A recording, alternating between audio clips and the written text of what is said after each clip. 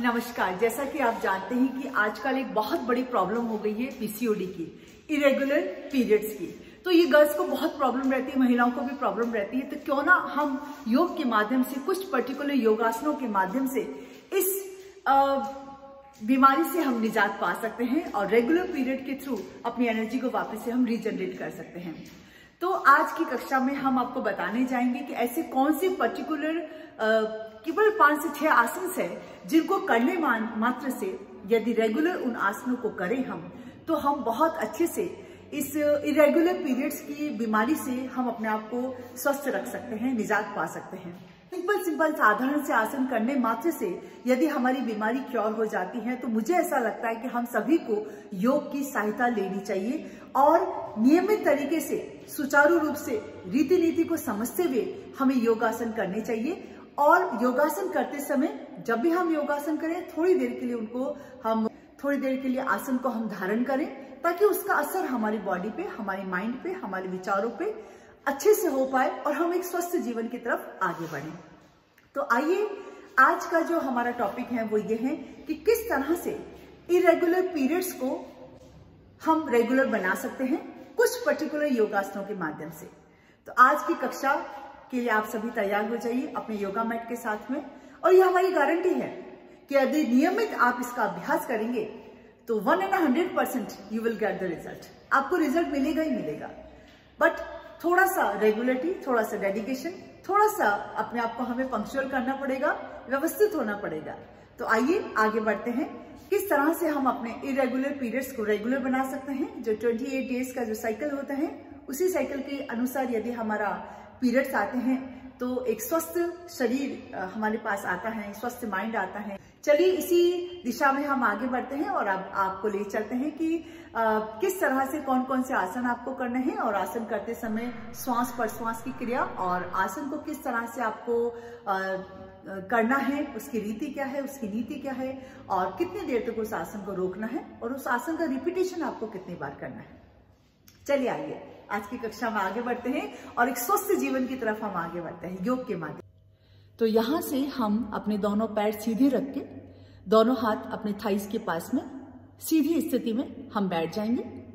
और सबसे पहला आसन जो हम करने जा रहे हैं, उसका नाम हमें जानुश्री आसन। तो इसके लिए हमें सीधा बैठ के मेरुदंड को सीधे रखते हुए अपने सीधे पैर के घुटने को हम बैंड करेंगे। और नीचे की तरफ़ रखते हुए उसकी एड़ी को हम अपने पेरिनियम पे टच करेंगे। यस इस तरह से हमें टच करना है। श्वास भरते हुए दोनों हाथ ऊपर उठाएँगे। आप दोनों हाथ की हथेलियाँ आपस में मिला लेंगे और कमर को मेरुदंड को और सीधा करेंगे। हल्का सा हाँ अपने चेस्ट को और आगे की तरफ़ पुश करते हुए धीरे धीरे श्वास छोड़ते हुए हम नीचे की तरफ़ जाएँगे और धीरे धीरे अपने पैर की तरफ़ बहुत धीमी गति से आगे बढ़ेंगे। जितना हम कर सकते हैं वो करने का प्रयास करेंगे।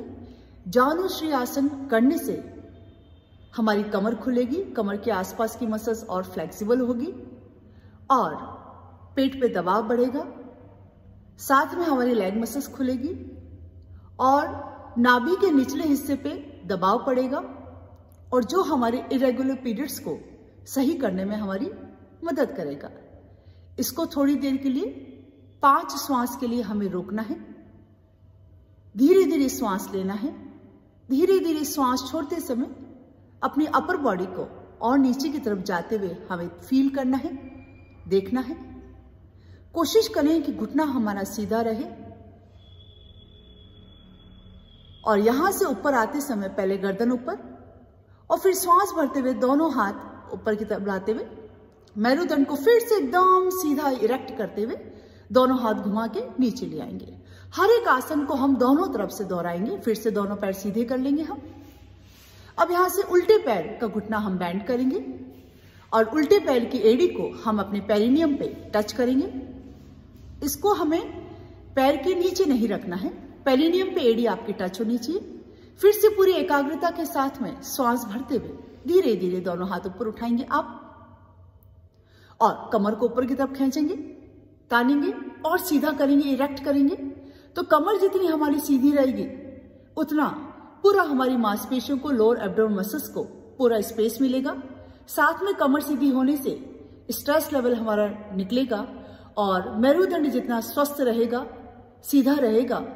स्ट्रेस निकलने से जो मूल कारण है इरेगुलर पीरियड्स का, उससे कहीं ना कहीं हम निजात पाएँगे और श्वास छोड़ते हुए धीरे धीरे धीरे धीरे हमें नीचे जाना है। और नीचे जाते समय पूरा लोअर बैक से हमें स्ट्रेच करते हुए धीरे धीरे अपनी सुविधा के अनुसार जिस तरह से आपका बॉडी है, अपने बॉडी के हिसाब से धीरे धीरे हम प्रयास करते जाएँ, अभ्यास करते जाएँ। तो इस आसन को पूर्णतया करने में और अच्छे तरीके से करने में हम समर्थ हो जाएँगे। फाइनल पोजीशन के अंदर हम कोशिश करेंगे कि हमारा ललाट जो है, वो हमारे घुटने के टच हो।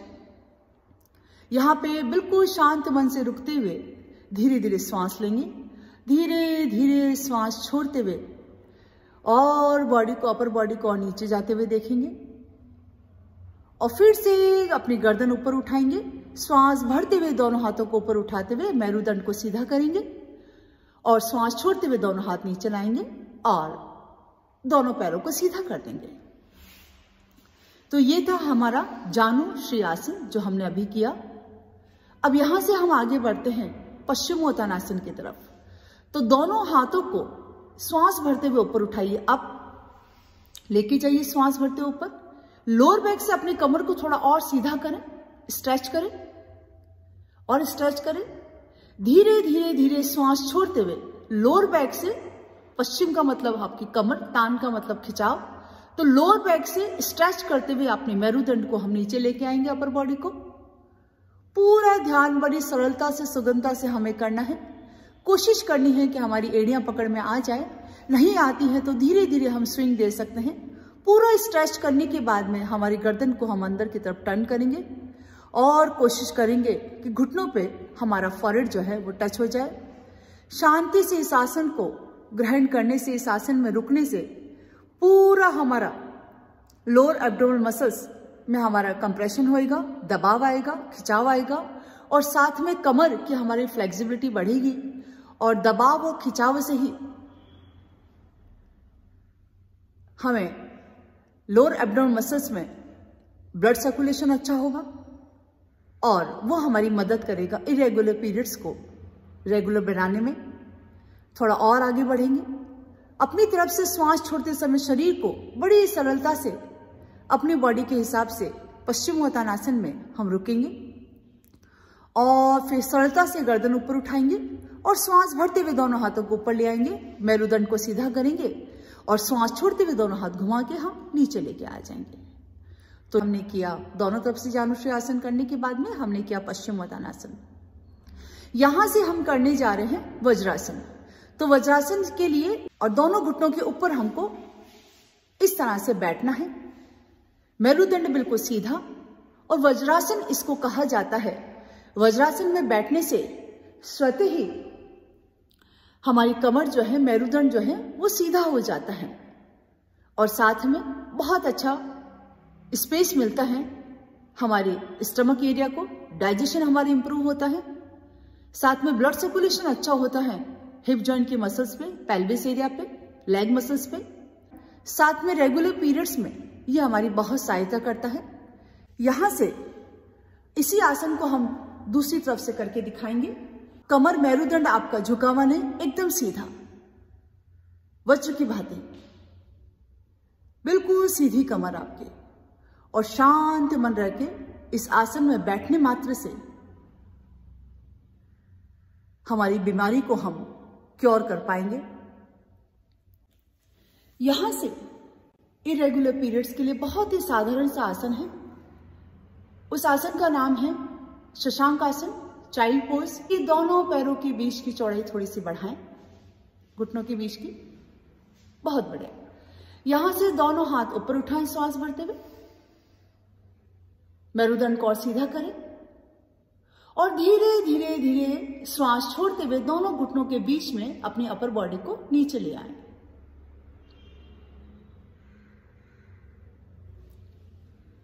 दोनों हाथ सीधे रखें सामने और बिल्कुल रिलैक्स हो जाएँ। लोअर बैक के हिस्से को ढीला छोड़ें शांति से श्वास प्रश्वास की क्रिया पे ध्यान लगाएँ और इस आसन को थोड़ी देर के लिए हम रोकेंगे और रोकते समय ऐसा भाव भरेंगे कि इस रिलैक्सेशन का और जो अभी शरीर के अंदर बहुत हम कंफर्टेबल फील कर रहे हैं, उसका पूरा असर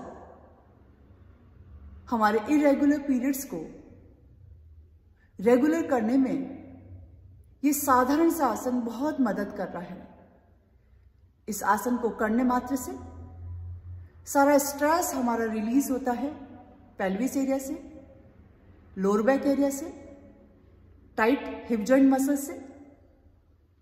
साथ में अपने आप के अंदर हम बहुत शांति और आनंद का अनुभव करते हैं तो दिमागी तौर पे भी हम अपने आप को एकदम रिलैक्स्ड फील करते हैं। और जैसा कि हम जानते हैं इरेगुलर पीरियड्स का सबसे प्रमुख कारण है स्ट्रेस तो स्ट्रेस रिलीज़ करने का ये बहुत अच्छा आसन है। और धीरे धीरे बिल्कुल शांत मन से श्वास भरते हुए, फिर से हम गर्दन ऊपर उठाएँगे पहले, और फिर श्वास भरते हुए धीरे धीरे हम ऊपर आ जाएँगे। दोनों हाथ ऊपर लाएँगे। श्वास छोड़ते हुए साधारण स्थिति में, दोनों हाथ नीचे लाते हुए, हम आराम की स्थिति में दोनों घुटने मिला के बैठ जाएँगे। यहीं से हम जाएँगे भद्रासन की तरफ़ तो इसके लिए पहले आप तितली आसन में बैठे। बटरफ्लाई पोजीशन जिसको कहा जाता है, उस आसन को हम लेंगे। यहाँ पे दोनों पैर की एड़ियाँ, दोनों पैर के पंजे आपस में मिल जाएँगे। मेरुदंड आपका सीधा रहेगा और दोनों हाथ की हथेलियों से अपने पंजों को हमें पकड़ना है और मेरुदंड हमें सीधा रखना है।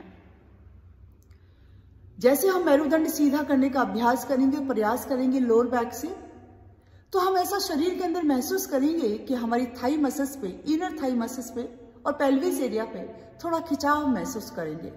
तो वो खिंचाव और दबाव से ब्लड सर्कुलेशन अच्छा होगा और वो हमारे इरेगुलर पीरियड्स को रेगुलर करने में मदद करेगा।